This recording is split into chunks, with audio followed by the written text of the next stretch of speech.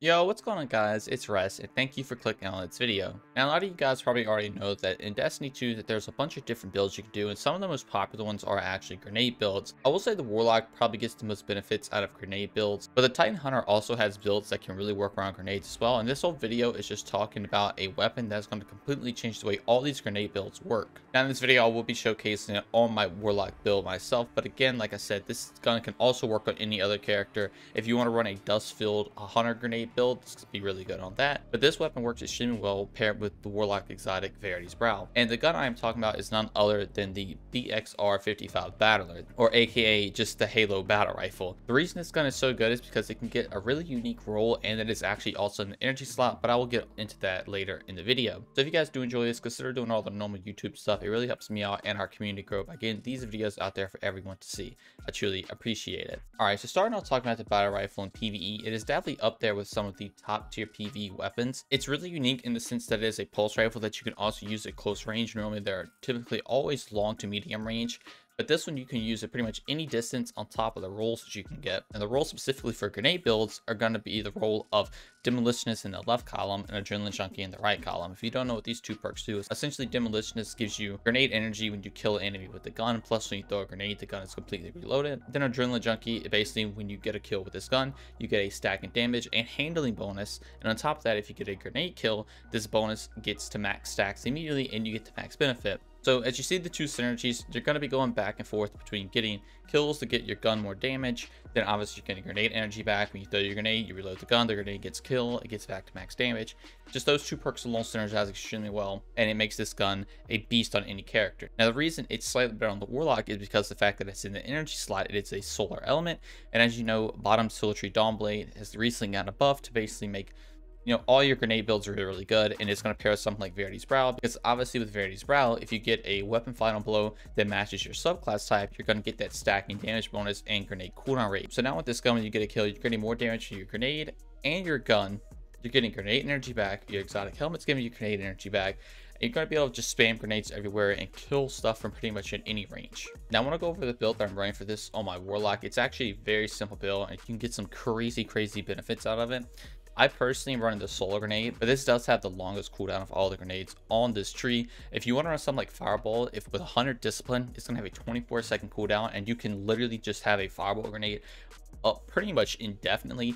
Uh, it's kind of crazy how fast they recharge. Obviously, it's not going to get as much kills as something like a solar grenade, but you're going to be able to just always have this grenade uh, spawning elemental wells, which I'll get to in a second, and you're going to be able just to blow everything up. It's just a nice little huge chunk of damage you can throw, and kill a lot of enemies. Even if you want to take something like a fusion grenade, you can do that as well. But honestly, even with the longer cooldown, the solar grenade is still the way to go in my opinion because it is just the best AoE grenade in the game. I do not think this specific type of AoE build is better than the video I posted yesterday. So if you guys do want to go watch that, I will link in the description and put it up in the little card in the top right. But this is also really, really good. And you just have to base it around your whole grenade, obviously. All right, so get over to the mods. The main one we're going to be running is uh, Elemental Ordnance right here. I'm going to have three and the reason I'm running three is also the fact that I'm running Bountiful Wells. So if you don't know what this does, essentially elemental well mods that cause you to spawn elemental wells can now stack and spawn additional wells for each additional copy of the mod you have. So with three, they're all now going to stack, which is really, really good. And this is also essentially giving you an extra one. So when you get a grenade kill, you're getting four elemental wells to spawn, which is going to give you a huge amount of grenade energy back on top of obviously your battle rifle getting kills. You're going to be able to get your grenade back literally infinite. Like it, it's crazy the amount of grenades you can spam with this. It, it's almost like Sunbracers, but you don't have to wear Sunbracers. And on top of that, the elemental well, since they do match your subclass, you're also been getting your melee and rift energy back really fast as well. Now, the final mod I like to run is Font of Might actually. So when you pick up elemental well that match your subclass, you're going to get uh, 10 seconds of increased damage of that element. So obviously now when you pick elemental well up, you're getting even more damage to this battle rifle on top of what Adrenaline Junkie is already doing. And then I like to run Gjallarhorn with this build because since we're going to be buffing our solar damage a lot, you might as well take one of the best solar power weapons and you're going to be able to boss like crazy with this weapon. If you do want to run something like Sleeper and run Particle Deconstruction, you can. That's why I have Particle Deconstruction on right here. Uh, but you can also obviously take it off and run something like Gjallarhorn if you want to as well. It just depends on your playstyle. Obviously, with Particle Deconstruction, Sleeper is going to be a little bit better. It's just harder to proc since you don't have a Fusion equipped. But if somebody else is running a Fusion, you can absolutely run Sleeper and it's still going to be really good. But just for base play, I would pretty much always just run Gjallarhorn Gjallarhorn, since you're going to really easily keep your elemental wells up and you're going to be buffing the damage of these two weapons like crazy. Then for additional mods, obviously just like Rocket Ammo Finder, uh, Rocket Reserves, I do run a grenade kickstart uh, just so you get some energy back when you throw the grenade. It makes it a little bit easier to get because with just Demolitionist alone, it takes around five to six kills uh, with a grenade kickstart to get that back. But obviously, if you start taking in uh, the elemental wells and your exotic helmet procking, you get it back in like two kills and sometimes just throwing a grenade you just get it back. It's really insane. But then i just have some other stuff like pulse rifle reloader. And if you want to run something like a solar uh, energy uh, pair of boots, you can actually take things like innervation right here. So reduces uh, the grenade cooldown you pick up an orb power. So now not only is your gun getting the grenade energy back when you get kills, you're also creating orbs, which when you pick this up, you're also getting grenade energy back.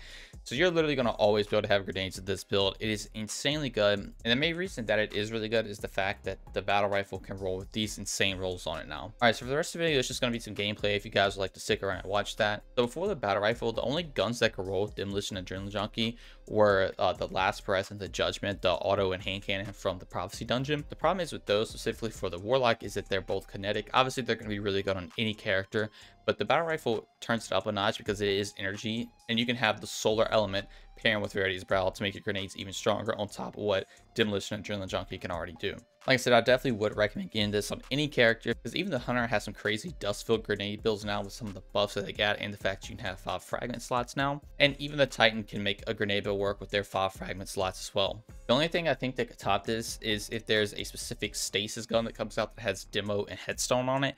That is just going to be ridiculous if you can get a roll like that pair it with a stasis subclass. I cannot wait for that to come out. Maybe we'll get that in Witch Queen, but that is going to be insane. But this is what we have for now, and it is insanely strong. Demolitionist is one of the best perks in the entire game, especially when you're really playing into it, and this gun just does that perfectly. Also, thanks to the buff to Adrenaline Junkie, it just rounds out the entire damage of the build between guns and grenades, and I really, really think you guys are going to enjoy it. If you guys do try this out or change anything up, be sure to let me know what you think of the build. Also, be sure to just let me know what you think of the battle rifle. You join it in PvE and PvP, because I really do think it's probably one of the better PvE weapons in the game right now. But that is going to do all for me. Thank y'all so much for watching, and I'll see you in the next one. Peace.